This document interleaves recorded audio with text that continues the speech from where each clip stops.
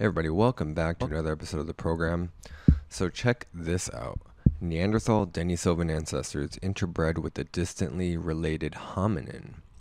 So that distantly related hominin they're referring to is called a super archaic population of, of ancient humans that lived well over 2 million years ago. Um, and I'll show you guys a few, I'll show you guys a visual in a second. Neanderthals and Denisovans interbred with these uh, archaic, this archaic, this super archaic population, but they're the ancestors of Neanderthals and Denisovans. I'll just call them Neandersovans, which is what this um, this uh, research article refers to them as. They also interbred with this super archaic population as well. So there's a lot of things that come up in here. But before we actually go deep into um, into the study, let's just hash out exactly what an evolutionary geneticist seeks to do, which is they gather all these hominin genomes over the course of a few years, as well as others borrowed from other studies and previous studies, and then they compare and look for mutations and shared genes and all of these other uh, genetic patterns uh, among this genome. And then they apply statistical methods that infer the history of ancient human populations. So, again, inferring the history is well up, uh, is basically a matter of opinion, educated opinion, I guess, hypothesis, and up for interpretation. And that, of course, is the bat- battlefield in which all of this is fought and debated. And again, this article, many of you will have met, come away with many different opinions, but I think it's very interesting. And again, um, it's this another puzzle piece that that we're adding here to really clear up the picture of what really happened. And it appears, no matter how, which way you slice it, things happened further and further back in history. So let's just take a look at the abstract really quick. The ancestors of Neanderthals and Denisovans interbred with their own Eurasian predecessors, the ar- super archaic population aforementioned. The super archaic population was large with an effective size between 20 and 50,000 individuals, and they just derived that from analyzing the genome. So, three things are, or five things are confirmed here. So, one, Denisovans also interbred with super archaics. Neanderthals and Denisovans separated early in the Pleistocene which is about 700,000 years ago or so, 750,000 years ago. Their their ancestors endured a bottleneck of population size, which basically means there was a huge decline in population for some reason, and it's usually sudden. And it probably has to do with climate or some sort of catastrophe or uh, plague, whatever it is, but a huge sudden decrease in population size. Uh, four Neanderthal population was large at first, but then declined in size as well. Um, and then five Neanderthals interbred with the ancestors of modern humans, which uh, we've talked about in previous episodes. So here's the tree here, and you can see on the right um, if this is all of our common ancestors, modern Africans, Europeans, Neanderthals, Denisovans, and super archaics, you can see that super archaics branched off pretty early. So, uh, between the time that these super archaics branched off and then the Denisovans and Neanderthals allegedly branched off, it's a period of 1.2 million years. This line here represents about 1.2 million years.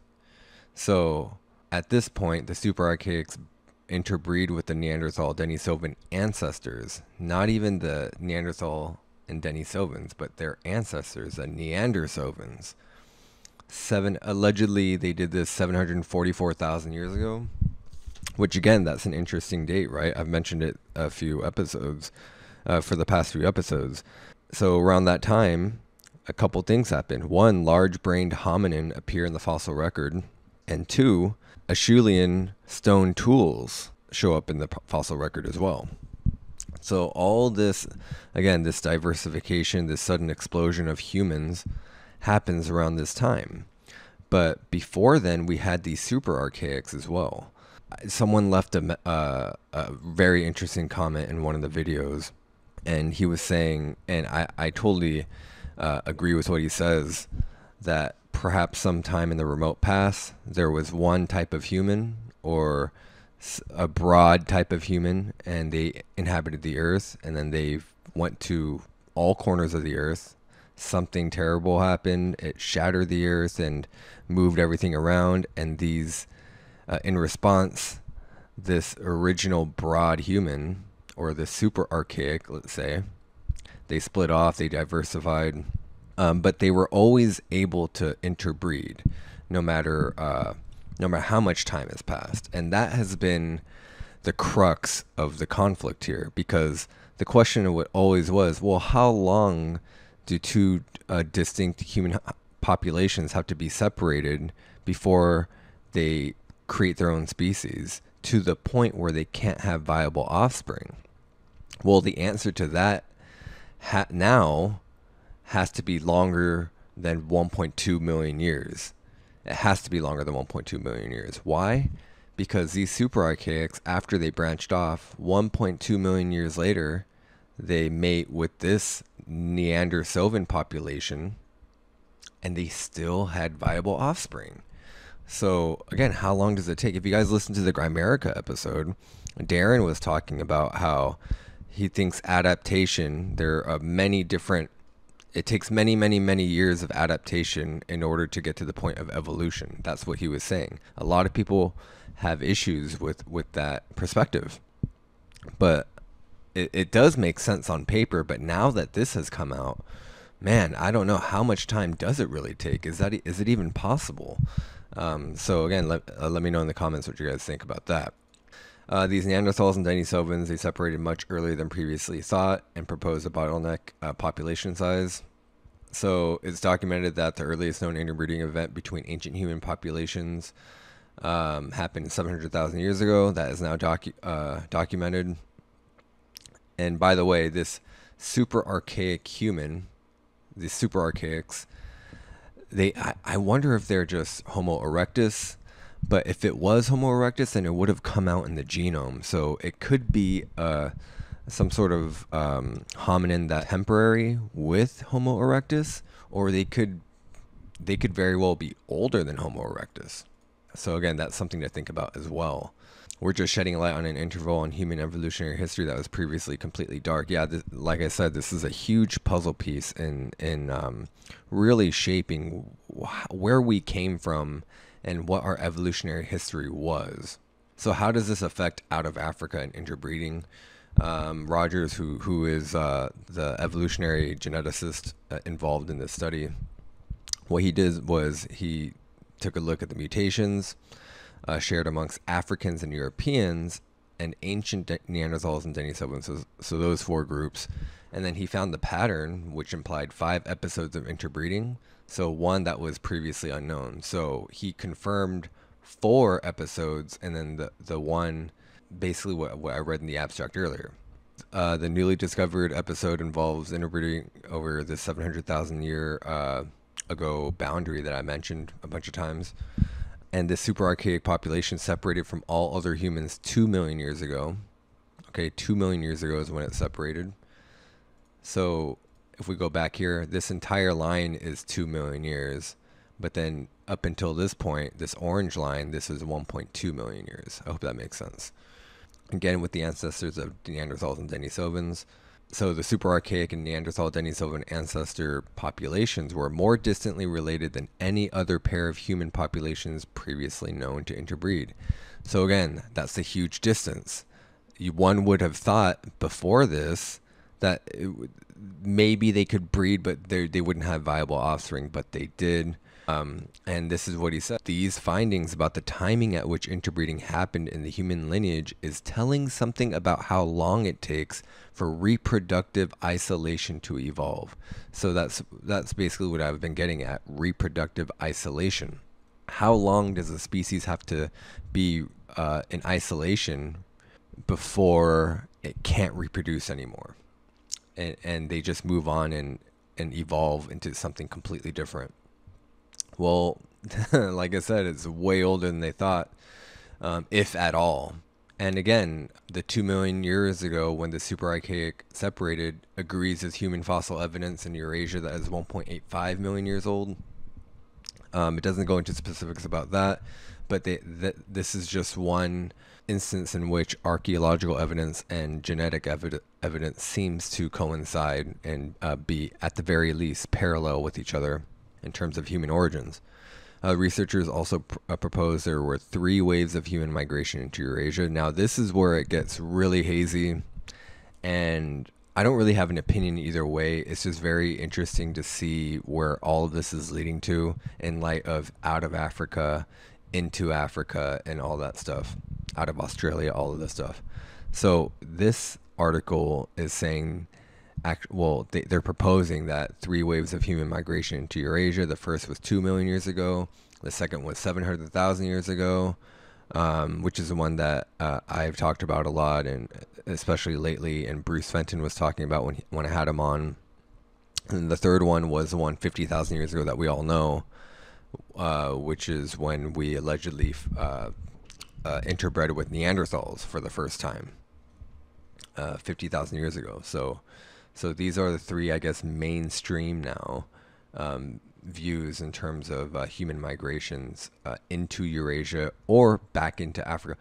It, again, it's really hard to tell where they were coming and where they were going because people move all across the globe very quickly, and genetics, is, although it really does help with the migrations, it's really hard to tell if they were coming and going, and that's going to be the site of this um, of this ideological battle that we're going to fight for a while until all this gets cleared up. And again, there's probably going to have to be a lot more evidence that comes out.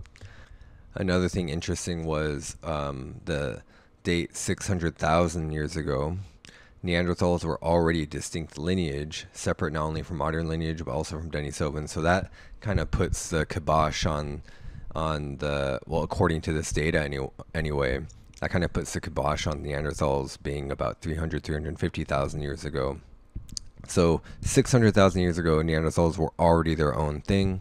And then only 100,000 years before that is when their ancestors were breeding. So 100,000 years after this breeding event, this interbreeding event, you have fully formed Neanderthals and Denisovans and probably a bunch of other humans too that we haven't yet to um, discover, um, like the the ghost uh, genetics, uh, the ghost genes that that I talked about in the last episode. Um, so anyway, let me know what you guys think about this. Um, th- this I wanted to cover this one because they found a fully intact Neanderthal skeleton in uh, I- Iraq, I think, or Iran.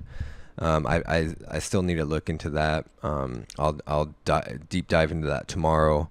Um, but this is very interesting. That's and all this is just coming out um, very within a few days of each other. So um, I wanted to get to this earlier in the week.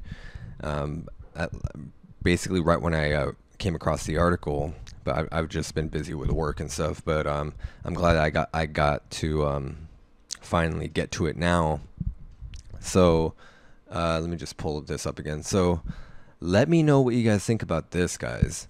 Um, se- again, 750,000 years ago, super archaics b- breed with Neandersovans, and then 419,000 years ago, they interbreed again with Neanderthals and Denisovans. And then not long after that, the Neanderthals and Denisovans find us, our ancestors, uh, and then the ancestors, and then they do again 50,000 years ago, and then 30,000 years ago, allegedly. Um, Denisovans and modern Europeans, anyway, 30,000 years ago.